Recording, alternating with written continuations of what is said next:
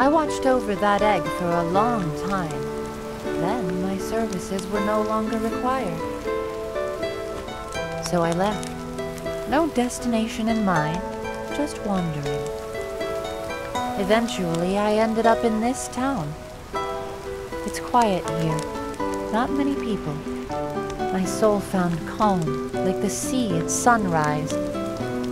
But with nothing to do but hunt and eat. Well, let's say I have time on my hands. I've already counted all the rocks that are going to fall. If you hear of any work that might suit me, I'd be obliged if you'd let me know. I'm a damn good hunter, even if I'm not good for much else.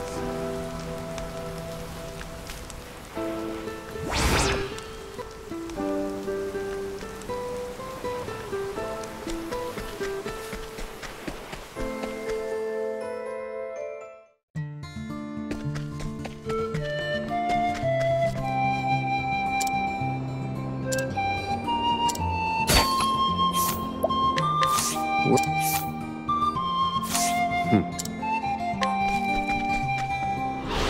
the experiment begin. Oh dear.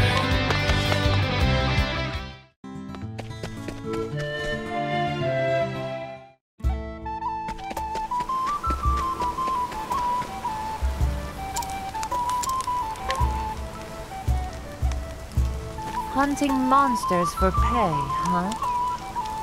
In other words, slaughtering living creatures no one will even eat.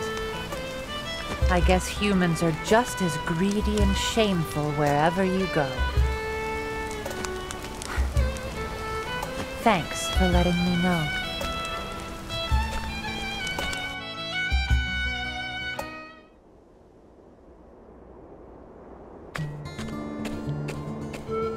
That's right. Don't be afraid.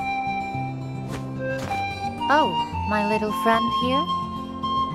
Well, I used the information you gave me to track down and chase off those money-hungry merchants. And somehow, this little one took a liking to me.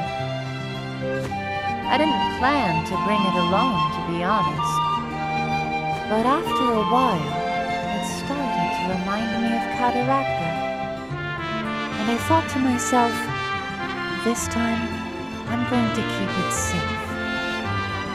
So, the two of us are setting out on another journey together. There are a lot of creatures out there being maltreated and abused for no reason. We're going to save them. Maybe I'm deluding myself about what we can achieve, but it beats sitting around here, right? We're off.